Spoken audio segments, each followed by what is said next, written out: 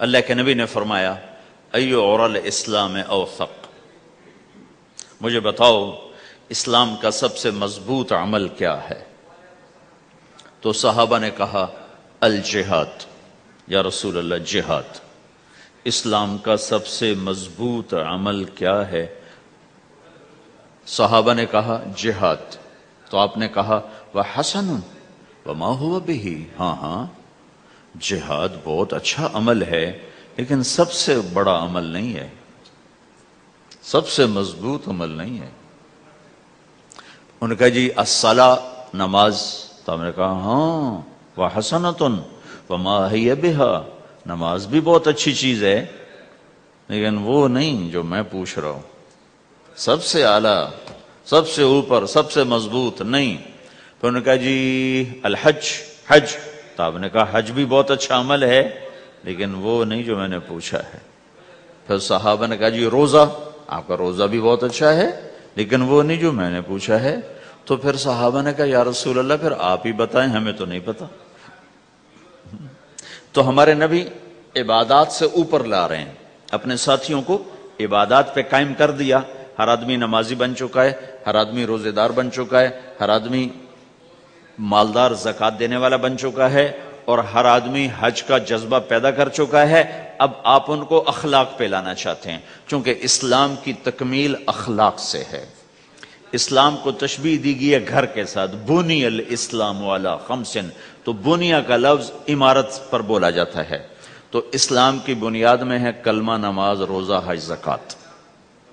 अगर इस मस्जिद की बुनियादें भर दी जाएँ तो इसको मस्जिद तो नहीं कहेंगे ना। हाँ जी, बुनियादें डाल दी हैं, छत डालनी है। जब छत पड़ेगी तो फिर ये मस्जिद कहलाएगी। तो इस्लाम की बुनियाद कायम हो चुकी थी, अब आप छत डालना चाहते थे। छत क्या है? वो अच्छे अखलाक हैं। तो अब आप उनको ऊपर ला रहे हैं, ऊपर ला रहे हैं।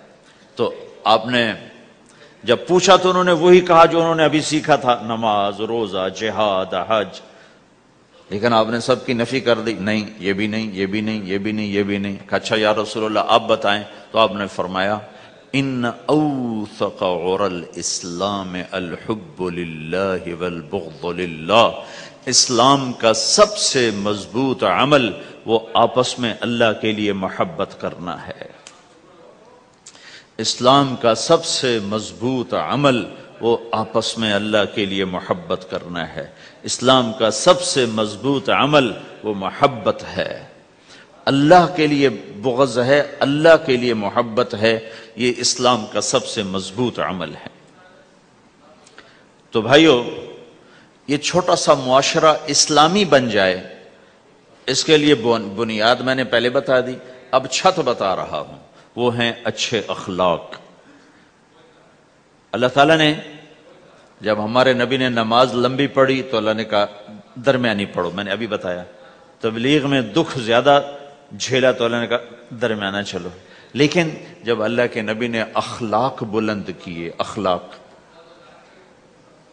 तो इस पर भी अल्लाह ताला फरमाता, मेरे नबी, जरा इतना नरम ना हो, थोड़ा सा सख्ती दिखा, आँखें दिखा। थोड़ा शूशा कर, है? तो मेरे मेरे रब ने क्या कहा? वाह! मेरे रब ने आपके अखलाक की जैसी तारीफ़ की है, आपके किसी अमल की ऐसी तारीफ़ नहीं की। नमाज़ को कहा मतदिल एतदाल, दावत को कहा एतदाल, और अखलाक को क्या कहा? इन नकला खुलुकन और उसको ताकत पहुंचाई कसम उठा के, नून, फिर कसम उठाई कलम की, जो इल्म का ज़रिया है, वल कलम वमा यस्तरून मुझे कसम है, कलम और उसकी तहरीर की। माँ अंत बेनमत रबक बेमचनून व इन लकल अजरन गैर ममनून। इन दो आयतों को छोड़कर अगली जो आयत आ रही, व इन नकल आला खुलुकन अजीम। ए मेरे महबूब, मैं कसम उठाता हूँ कलम और उसकी तहरीर की। तेरे अखलाक बड़े आली शान है। मेरा दिल बदल दे, मेरा दिल Welcome to QuranRecites.com where there are lectures of its renowned Islamic scholars, nasheed in English, Arabic and in Urdu, Quranic recitation with translation, Islamic मेरा videos दिल and बदल दे मेरा दिल बदल दे गफलत में डूबा दिल बदल दे मेरा गफलत में डूबा दिल बदल दे